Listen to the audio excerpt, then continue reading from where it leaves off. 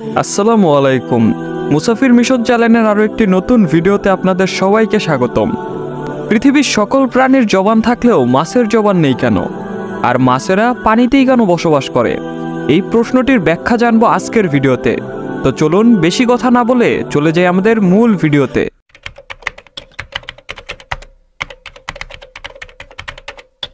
এক ব্যক্তি হজরত আলী রাদিল্লাহ তালা আনহুকে প্রশ্ন করে বলেছিলেন, হে আলী সব প্রাণীর জবান থাকলেও মাছের জবান নেই কেন?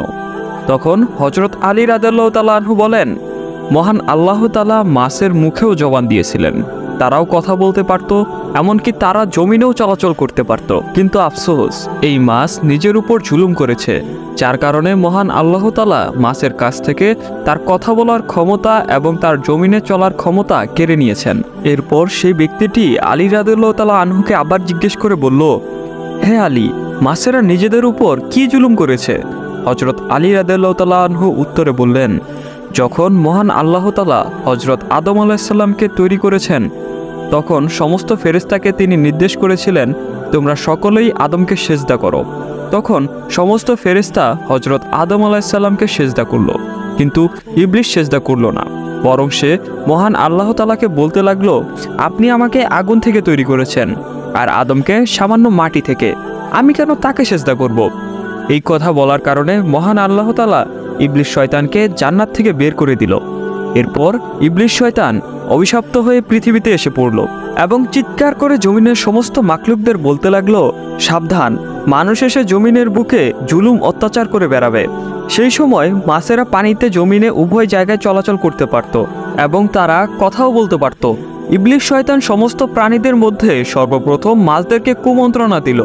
ইবলিশ শয়তান মাছদেরকে বলল, মানুষ পৃথিবীতে আসার পর তারা নিজেদের ক্ষুধা মেটানোর জন্য তোমাদেরকে জীবন্ত অবস্থায় কেটে টুকরো টুকরো করে খাবে। মাছেরা যখন এই কথা শুনল, তখন তারা সমুদ্রের অন্য সমস্ত প্রাণীদেরকে মানুষের সম্বন্ধে এই সমস্ত কথা বলে মানুষের বিরুদ্ধে নিয়ে গেল, যার কারণে মহান আল্লাহ তালা মাছদের কথা বলার ক্ষমতা কেড়ে নেন। এবং মাছদের ব্যাপারে এই বিধান জারি করেন যে মাছদেরকে জবাই করে খেতে হবে না। তাদেরকে জীবিত অথবা মৃত উভয় অবস্থায় কাটা যাবে। অন্য সকল প্রাণীকে আল্লাহর নাম নিয়ে জবাই করার যে প্রযোজ্য, সেটা মাছদের ক্ষেত্রে প্রযোজ্য হবে না। কেননা মহান আল্লাহ তালা মাছদেরকে বলেছেন, আমি তোমাদের জীবনকে পানির মধ্যে সীমাবদ্ধ করে দিব। এবং তোমাদেরকে যখন পানি থেকে তোলা হবে, তোমরা তখন নিজেরাই ছটফট করতে করতে মারা যাবে। এই কারণে যখন মাছদেরকে পানি থেকে বের করা হয়, তখন মাছেরা ছটফট করতে থাকে এবং মাছের দেহের সমস্ত রক্ত এসে গলার মধ্যে থাকা একটি বিশেষ গ্রন্থিতে জমা হয়। এই কারণে মাছদেরকে জবাই করার বাধ্যকতা নেই। কেননা ইসলামে জবাই করার বিধান এই কারণে দেওয়া হয়েছিল যে, যাতে করে পশুর শরীরের মধ্যে প্রবাহিত সমস্ত রক্ত মাংস থেকে আলাদা হয়ে যায়। এবং মাংসটি যেন গুণাগুণ সম্পূর্ণ ও স্বাস্থ্যকর থাকে। আদম সন্তানের জন্য কখনো যেন এই খাবার অস্বাস্থ্যকর না হয়।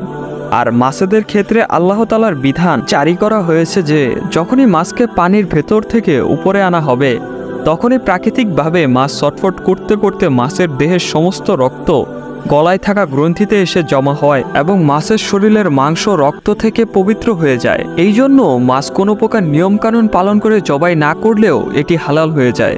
সুবাহান আল্লাহ তো আজকের ভিডিও এই পর্যন্তই। যদি ভিডিওটি ভালো লেগে থাকে তবে লাইক দিয়ে দিবেন এবং মুসাফির মিশন চ্যানেলে নতুন হয়ে থাকলে আমাদের চ্যানেলটি সাবস্ক্রাইব করে আমাদের পাশেই থাকবেন, যাতে পরবর্তী ভিডিও সবার আগে আপনি পেতে পারেন।